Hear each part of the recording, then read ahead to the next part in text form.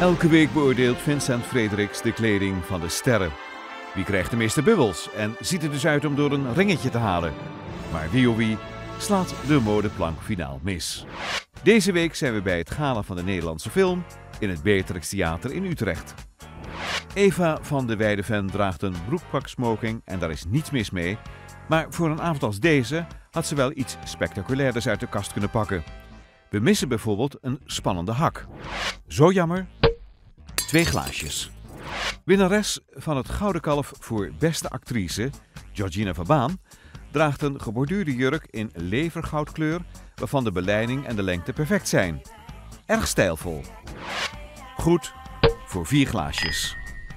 De jurk van Kim Veenstra staat haar mooi.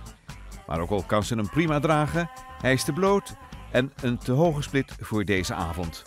Robert de Hoog draagt een slank gesneden donkerblauw pak en dat ziet er prima uit. Maar het is vanavond gala en dan draag je geen pak. Bijna goed. Drie glaasjes. Loes Havenkort draagt een goed gekozen jurk voor de tijd van het jaar. De opengeknoopte achterkant en de sleep maken hem bovendien spannend. Goed voor vier glaasjes. Hoewel eigenlijk alles klopt, van de kleur tot de beleiding, van de lengte tot de accessoires, ziet Suzanne Visser er weinig sprankelend uit. Eerder een beetje saai en dat is jammer, want ze heeft een goed figuur voor een spannende jurk. Bijna goed.